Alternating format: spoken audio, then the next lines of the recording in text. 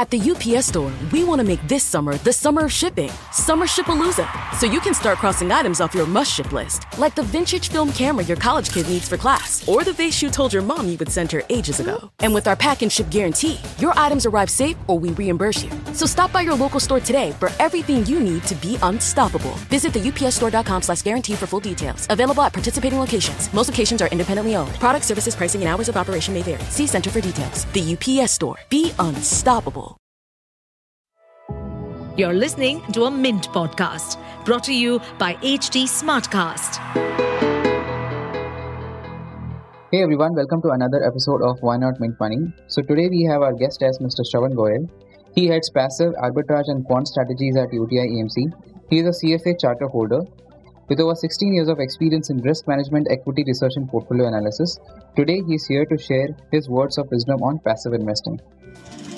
Welcome to Why Not Mint Money, a personal finance podcast where we help you understand basic money concepts and share strategies for you to build your wealth. So let's get started with your money journey. Hi, Sharwan. Thank you for joining us today. Thank you. So, my first question to you is, uh, Sharwan, passive funds are gaining a lot of traction in developed, uh, you know, markets, and a large part of incremental flows is also going to passive funds. Uh, so, do you see similar trends emerging in India? So we have seen phenomenal growth of passive funds in India in last 10 years. So size of passive funds have grown from just about 10,000 crore to almost 9 lakh crore in last 10 years. Okay. So almost 90 times growth in last 10 years. In last 10 At the same time, as a percentage of mutual fund industry's AUM, it has increased from just about 1% to almost 17% now. Hmm. So we have seen a lot of growth in passive funds in last few years. So initial phase of growth was primarily driven by uh, retirement funds such as EPFO, because uh, uh, EPFO and other retirement funds were mandated to invest initially 5% of annual allocation in ETFs, Yeah. which was subsequently increased to 15% of annual allocation. But at the same time, uh, incremental growth is seen uh, across various verticals such as RIAs, distributors, family offices, advocating these simple yet effective investment solution to their clients. I see. Um, we believe that going forward, uh, uh, the growth could be much more broad based, mainly because uh, retail investors, uh, led by new age investors, are aware about the benefits of these low cost investment solutions. Uh, because of improved internet penetration, uh, investors are becoming aware about these passive solutions. And Okay. believe that uh, uh, we could see much more broad based rally or growth in going forward. That's an interesting insight, Sharwan. Uh, so my second question to you is, uh, within passive funds, uh, how should investors uh, choose between ETFs and index uh, funds? So objective of both ETF and index fund is to replicate the benchmark and with an aim to generate returns which are very close to the underlying benchmark. Yeah. So passive funds are also called beta tracker because these kind of funds help you generate market returns, Okay. Yeah. right? Uh, so we believe that uh, the mode of investment is based on the convenience and overall cost of ownership. Okay. Right. Yeah. So investment in ETF is very similar to investment in stocks because Yeah. Investors who wants to invest in ETF they can invest through exchanges, right? Right. While investment in index fund is very similar to investment in mutual fund. Mutual funds, because yeah. you invest and get the end NAV. So Hmm. investors should choose between ETF and index fund based on overall cost of ownership and convenience of investments. So in, investors who are uh, aware about the nuance of investing in stocks and Hmm. convenient to invest in stocks, uh, they could choose to invest in ETFs. While investors Hmm. who believe that uh, from longer term perspective, it is very not very important to capture intraday price movement, Yeah. they can choose to invest in index fund. Right. So you are saying the overall cost of ownership is on the higher side with ETFs, is what you have to say. So we believe that uh, uh, overall cost of uh, ownership includes, uh, apart from expense ratio, it also includes brokerage, demat charges, and impact cost of ETFs. right. Yeah. While these costs are bundled up in, in case of index fund uh, platform. Right. Bundle up as total expense. Any investor who is having account with say discount brokers who is paying lower brokerage, hmm. they can choose to invest in, in ETFs. Right. While so I'm saying hmm. rather, rather than just focusing on expense ratio charged by AMC, you should also be considering that overall cost of That's right, yeah. investment in ETFs. Right. Uh, so my third question to you, Sharwan, is uh, one of the biggest concerns of uh, investors in ETFs is liquidity. How can the industry overcome this uh, issue? What do you have to say about this? So uh, we believe that uh, higher execution cost is a perceived risk or liquidity is a perceived risk in case of ETF. Okay, Because yeah. Market. Uh, so AMCs are mandated to appoint market makers or authorized participants. Okay. Who are providing liquidity on exchanges. So, for example, if you are an investor wants to buy ETF units, then market maker will provide that units to you. Right. And in Yeah. turn, market maker will come to AMCs to create those units uh, Liquidity for- or liquidity for the for themselves. So we believe that uh, it's a perceived risk. Hmm. Uh, although we believe that as and when uh, the development of passive funds improved Hmm. drastically, and there are a lot of in, uh, retail participation, then liquidity will further improve. So uh, its onus lies on the on the market participants, right? Right. Uh, to in, improve the liquidity. So if distributors and RIs are advocating these solutions to their investors, in that case, liquidity will further improve going forward. But at the same time, market uh, regulator SEBI has come out with efficient market making mechanism, wherein because of better settlement process, the capital requirement for market maker will further reduce in these ETFs. So Right. we believe that uh, the efforts are made in the right direction to improve liquidity for these ETFs going forward. Right. Just I'm curious about uh, who who does the AMC appoint as market makers? So uh, market makers are nothing but uh, brokers. Brokers, okay. Who are uh, also dealing in these securities. Right. Right. So it's more of a perceived problem. Perceived problem. Although during extreme market environment, Yeah. for example during election day, That happened, yeah. the, there could be slightly higher uh, liquidity issue. Mainly Okay. because these market makers uh, find it difficult to provide liquidity in such volatile market environment. So the Right. spreads could increase during extreme market environment. But, uh, Right. we don't see that kind of scenario uh, playing out on regular basis. So my next question to you uh, is, uh, what are some exciting emerging opportunities that you see within passive investments going forward?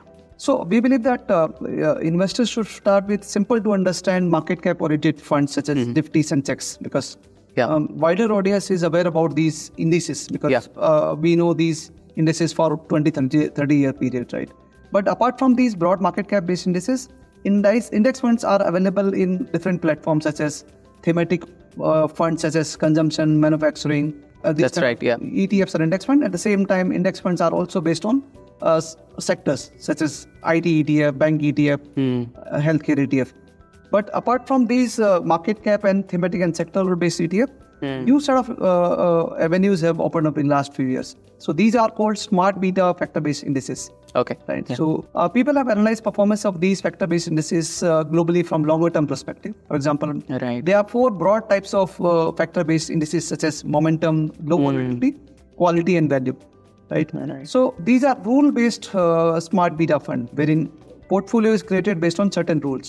Right. For example, let's say quality is a very important para- parameter within mid-cap space. So we have a mid-cap oriented quality index fund, which is called uh, UTI Nifty 150 mid-cap quality 50 index fund, wherein 50 high-quality companies are selected from broader mid-cap universe Okay. based on certain quality parameters such as ROE, low, uh, Oh, that's interesting. uh, low financial leverage, and consistency of profit growth. So based on these yeah. parameters, uh, these smart beta funds can be created.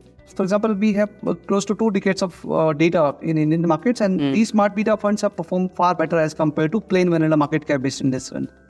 Yeah. So apart from uh, broad market cap based ETF or index fund, investors can also uh, use these smart beta fund to generate additional returns for their portfolio.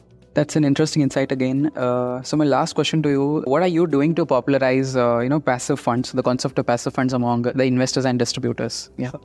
So I would say uh, passive funds are pull products, mainly because they are providing uh, investors simple yet effective investment solution at a relatively lower cost as compared to active funds, right?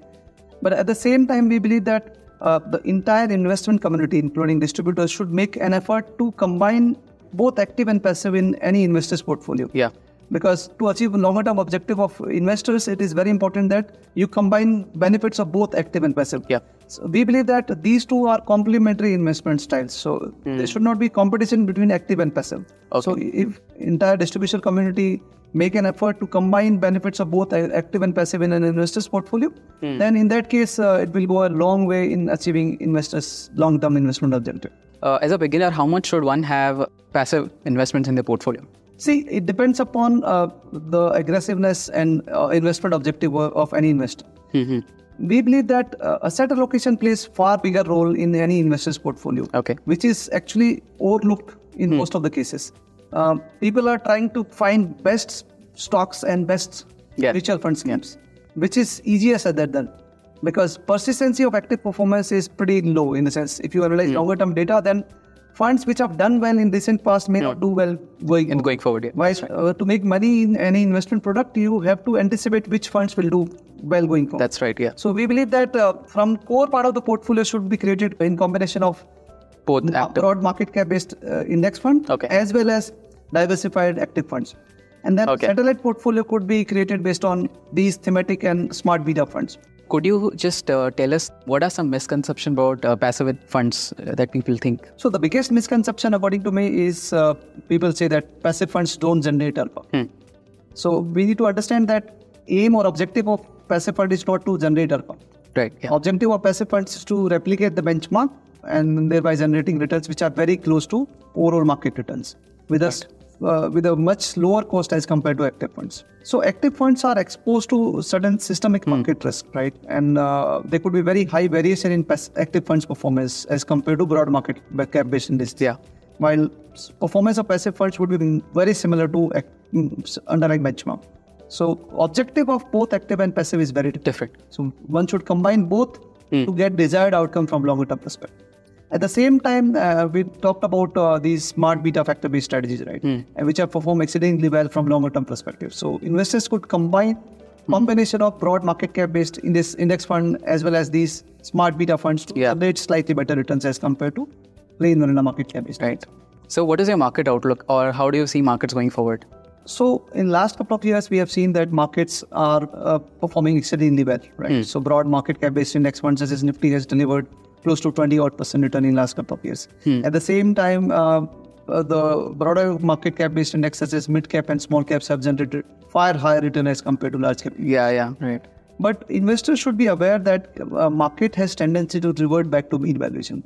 Some of the pockets such as mid and small caps which are trading at 60 to 70 percent premium as compared to their own long-term averages in terms of uh, various valuation parameters such as Yeah. PE and price to book value ratio have tendency to revert back to mean valuation. So one should not get uh, uh, too excited about recent performance of these pockets. And one should keep rebalancing the portfolio based on long-term investment. Long term investments. So these are some of the things which investors should keep in mind. Investors should always build the portfolio based on relative opportunity rather than what has worked in the past because uh, these pockets keep reverting. Keep reverting. Okay, thank you, sir. Thank you, Anil. Thank you. So that brings us to the end of this episode. If you want to know more on this topic, you can reach out to me on my Twitter, which is at the rate posteanil, or on LinkedIn using my full name, Anil Poste. We will be happy taking your suggestions. Thank you for tuning in. See you in the next episode.